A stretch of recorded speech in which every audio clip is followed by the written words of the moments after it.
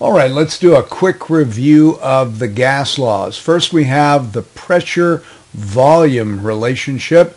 That was first determined by Robert Boyle, no other than. Robert Boyle worked with gases. He uh, looked at the pressure volume relationship, and what he said was that the pressure and the volume were inversely proportional.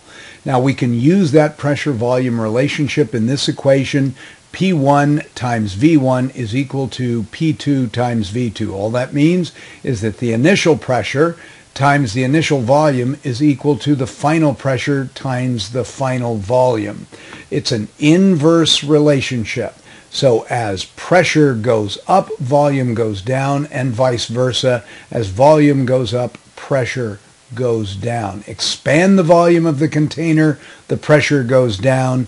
Uh, reduce the volume of the container, the pressure goes up. Then we have Charles' law, which is a direct relationship. And that direct relationship is between the volume and the absolute temperature. If you're given a problem using Charles' law, what you want to make sure that you do is you put the temperature in the absolute temperature scale. That means if you're given a temperature in Celsius, you add 273 to get it into a Kelvin temperature. It won't work in Celsius. It happens to be in Kelvin, has to be in Kelvin. So it's volume over the absolute temperature. Initial volume over initial temperature is equal to the final volume over the final temperature. Then we have uh, uh, what we also know as Gay-Lussac's law. That's the pressure-temperature relationship. If we look at that relationship, it's uh, just like Charles' law with volume over temperature, only in this case, volume is constant and the amount is constant. So this analogy would be the hairspray can. As uh, if what it says on a hairspray can is don't, uh, don't, don't destroy this can, don't dispose of this can in fire. Why? You throw the hairspray can, which has a rigid volume, you throw it in the fire, the temperature, the temperature increases, which means that the pressure increases. And if the pressure increases, eventually the can's going to explode. So we can do P1 divided by T1, absolute temperature, is equal to P2 divided by T2 at constant amount and constant volume.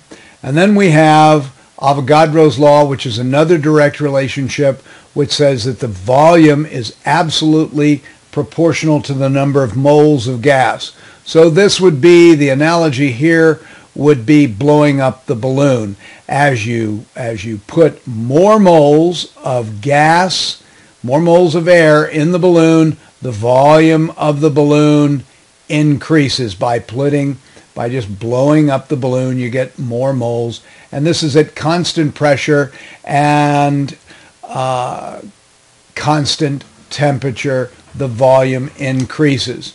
Then we have uh, a clicker question, which said at constant amount and constant pressure. So what are, what are our uh, variables? Our variables are volume and temperature. That's Charles' law.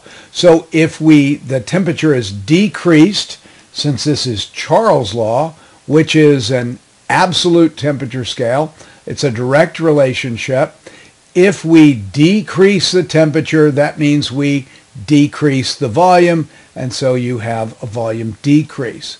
Then we had another clicker question that said if the temperature is increased at constant volume and constant amount, so that's going to be Gay-Lussac's law. Pressure over the absolute temperature equals a constant. And what are we doing? If we increase the, uh, if the temperature is increased, if the temperature goes up, the pressure goes up, and eventually, what? Uh, so the pressure goes up. Eventually, the hairspray can explodes. Then we came to the ideal gas law. Now, I noticed on the activity guys, a lot of you did not change your pressure into atmospheres and it costs you dearly. If you're given millimeters of mercury or you're given torrs, you need to divide seven divide by 760.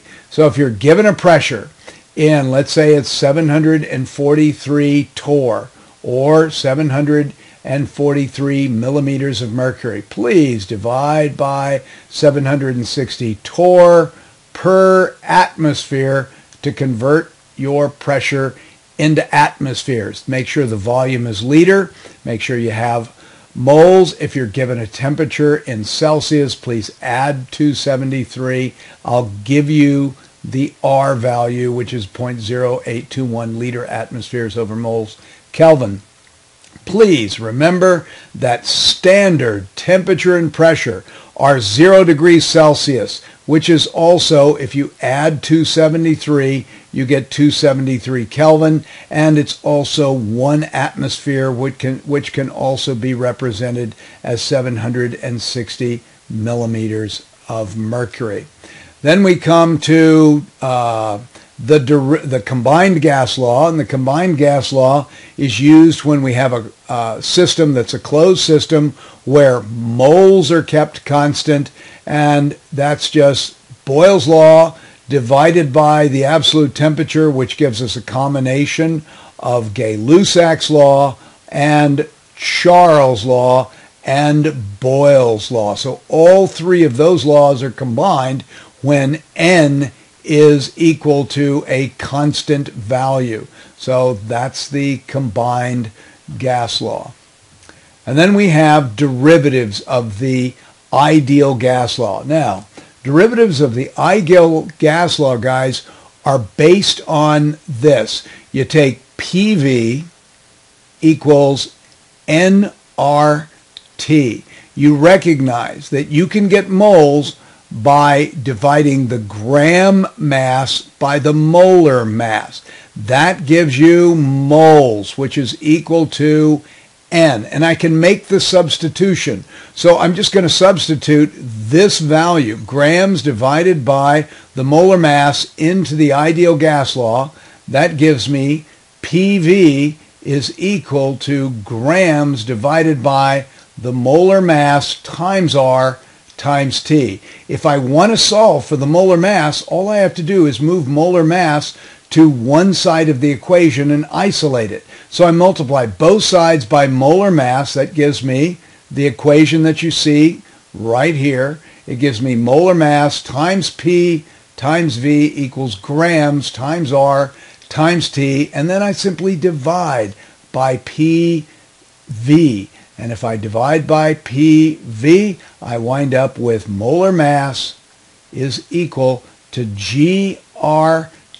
and I'm going to use uh, the commutative uh, law of multiplication and simply put volume under, under the gram mass uh, multiplied times p. Now, I'm going to take it a step further. If I take grams divided by volume, that equals density. So now I can say the molar mass is equal to the density times R times T divided by P. And those are the derivatives of the ideal gas law. So let's go ahead and work some problems very quickly here. So if I'm going to work this particular problem, this says a sample of chlorine gas is confined in a container. I have a volume of 5.0 liters. I have a pressure that's in 228 torr, and I have a temperature that's in 27 degrees Celsius. So this is an ideal gas law problem. PV equals nRT. In this particular ca- case, I'm solving for moles. So I divide both sides by RT. And that gives me the number of moles is equal to PV divided by RT. All I have to do to solve this problem is take my pressure of 228 torr, divide that pressure by 760 torr per atmosphere, and that's going to put my pressure in atmospheres. I'm going to multiply times the volume, which is given in liters, 5.0 liters. I'm going to divide that by the, the gas constant R, 0.0821 liters atmospheres over moles Kelvin, times the absolute temperature, which is going to be 27 Celsius plus 273. And then I'm going to make sure that everything in the denominator is in brackets if before I put it in my calculator. So you can go ahead and calculate that and you can get your answer. But that's how I set it up, guys. It's no big deal. Depending on what you're solving for, you just solve for the particular variable. Let's take a look at this. Calculate the molar mass of, of a gas uh, if you have 4.40 grams of the gas and it occupies 3.50 liters of the gas at 560 millimeters of mercury and 41 degrees Celsius. You know you're going to have to convert Celsius to Kelvin by taking your 41 degrees Celsius, adding 273. You know you're going to have to convert your pressure to atmospheres. How do you do that? You just take your 560 millimeters of mercury, divide by 760. The formula that you're going to use is based on the ideal gas law, PV equals nRT. We're going to make the substitution for moles. N is equal to grams divided by the molar mass. That gives us PV. PV is equal to grams divided by the molar mass times R times T, solve for molar mass. That gives us molar mass is equal to GRT divided by V times P. Plug in your values, guys, and you'll get the molar mass of your compound. I believe the answer for this particular problem wound up being around 44 grams per mole and if you calculate the molar mass of carbon dioxide, you find that it's around 44 grams per mole. So our unknown gas could be identified as carbon dioxide.